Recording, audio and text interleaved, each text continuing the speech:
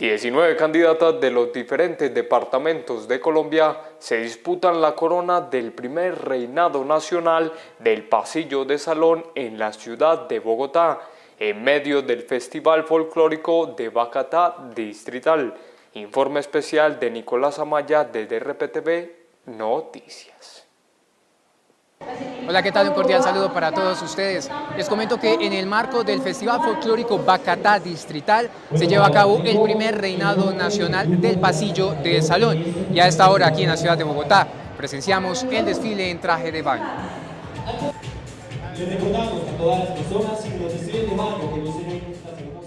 Estamos abriéndole la puerta a que los demás departamentos y municipios empiecen a ejecutar nuestro hermoso pasillo de salón.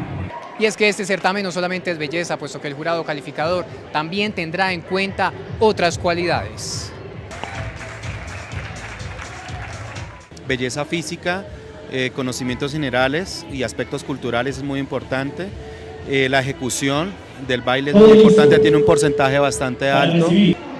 Sin duda alguna una difícil decisión que deberán tomar los jurados, puesto que son 19 candidatas que representan los diferentes departamentos del país. Y el 5 de junio se conocerá quién será la ganadora. Desde Bogotá les informó Nicolás Amaya.